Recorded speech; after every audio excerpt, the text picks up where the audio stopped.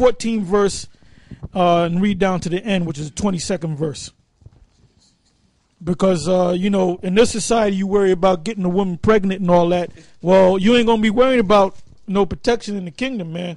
You're going to have all babies all over the place, man. You're going to have children that you don't even know that th- those are your children, man. Okay? Because in our kingdom, your women are not going to be messing around getting all frustrated with the children either. You're going to have um, you're going to have servants, man. I, I want to mention another movie, all right? I always put the movies in because movies illustrate what I'm saying and what other brothers are saying. Um, we, go see the movie, which all of y'all seen. If you ain't seen it, you ain't black or you ain't an Israelite. Coming to America. The first scene of uh, Coming to America, the first maybe 15 minutes, the way he got up in the morning, they had somebody wipe his ass, which that's not going to happen in the kingdom, all right? But everything else, you're going to have women bathing you, talking about the royal penis has been washed and all that, cleaned and all that, man, you know? um, so that's, that's, and then he even had an air about him, like he was royal. Because that, because he's an Israelite. Eddie Murphy and uh, Arsenio Hall, they're Israelites, man. Oh, and by the way, Eddie uh, Arsenio Hall, he was on The Last Apprentice, and he won that whole thing. And I saw the whole show, man. He won that whole thing, man. You know, that dude is. Yep, were, of course. Yep, yep. But um, another movie besides that one is uh, The Last Emperor. Y'all got to see that movie. You can probably catch it on YouTube. Right. The last. Well, I saw it when it first came out, but they showed you as from the time he was a, a, a little a baby. All right. Until the time he grew up. Now there was a scene when he was about maybe ten years old where he had this Chinese woman. She looked good too, brother. You know, and and anytime he wanted to suck on the titty, you know, he'd give her that look, and then she'll pull that titty out, and then he'll just go to sucking on it at the age of ten or eleven. Now, see, if you had a son and you had a, a, a, you know a woman that came over that was having sex with your son at 10 or 11 years old, they'll lock your ass up. But they didn't do that back then, man. So when he became a grown man, he knew everything about a woman, man. He knew how to deal with women, man.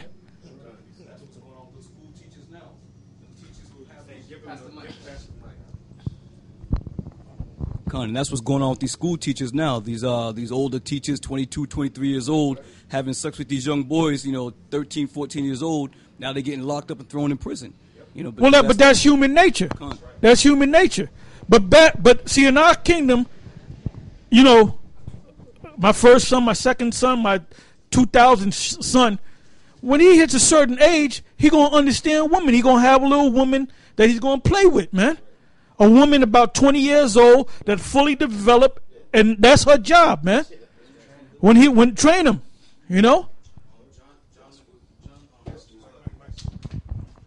Uh, the comedian John Leguizamo, he has said that his father took him out to get a prostitute when he was like like. 20, well, that's big among old. the tribes. That's big among the tribes, man. Well, the Latin tribes. That's big among the Latin my, tribes. Uh, my wife is Zebulon, and uh, her brother, his dad took him out Took him to a how, whorehouse. How, how old was he? He was like 14. Yeah, that's big among uh, that's big among uh, uh, uh, yeah. If we had the inside information, you know, we treat, treat these guys, but yeah, them Latins. See them Latin women, man. This is changing the subject.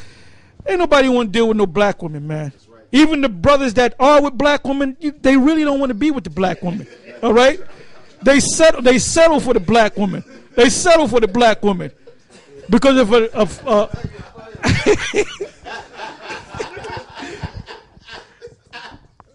well, I don't want to hurt no feelings or step on step on nobody's toes and whatnot, man. You know. oh yeah, that there, yeah. But but but but you know what? Yep. Hey, but but but you know what, man? Black uh, black men don't don't want to deal with black women. They settle for them, man. Because if a Puerto Rican, fine ass Puerto Rican chick or one of them Latin tribes, man, they'll get with that. They'll leave. They'll find a way. They'll, they'll start arguments with their black woman to get away from that woman, man.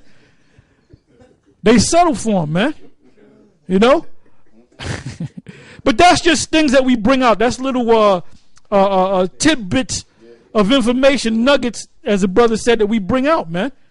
Because that's part of life. When we first started speaking, we used to come out, be on the camp the first year. We used to say, look, if you need a woman, go get you a prostitute.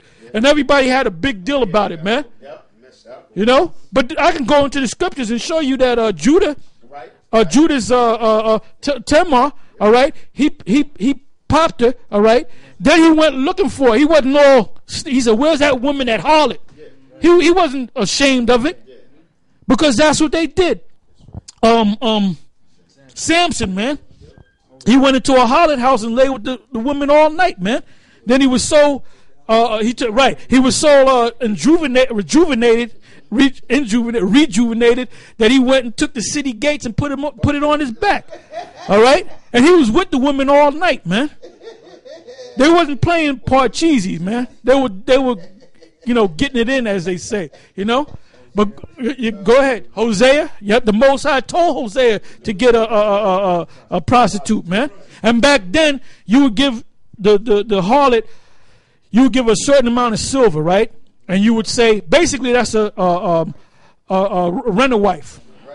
Because what she did, and if you have experience dealing with prostitutes out there, I don't know how many of you have, but a lot of them will tell you, well, look, you by yourself, Poppy, you know, I stay for about three weeks and I'll cook for you. I know how to cook and I'll rub your back and I'll iron your clothes. You know, I'll clean the house for you. And then the main thing, you know, you gotta clean other things. So you clean out your you clean out your colon if you need it, baby. You know. yep, yep, yep, yep. They got jobs, they just want to get laid. Yep, yep. Y'all don't want no ties. Yep, yep, Keep that right what you got between your legs for me. yep, yep. You know, and I don't over there or who you get over there. I don't want to know about it because I got told that. As long as that right there, I'm getting some.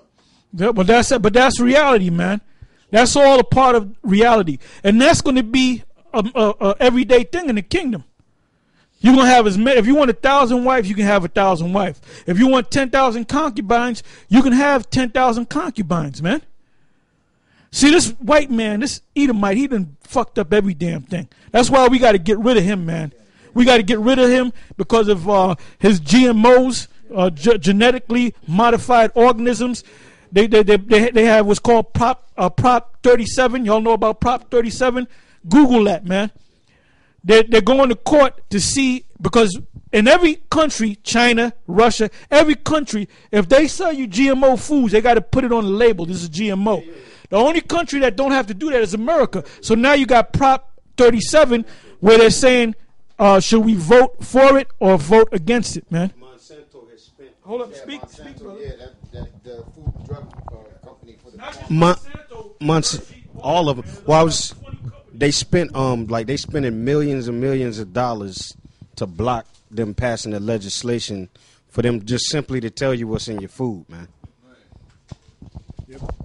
And remember, GMO stands for is an acronym for genetically modified organisms.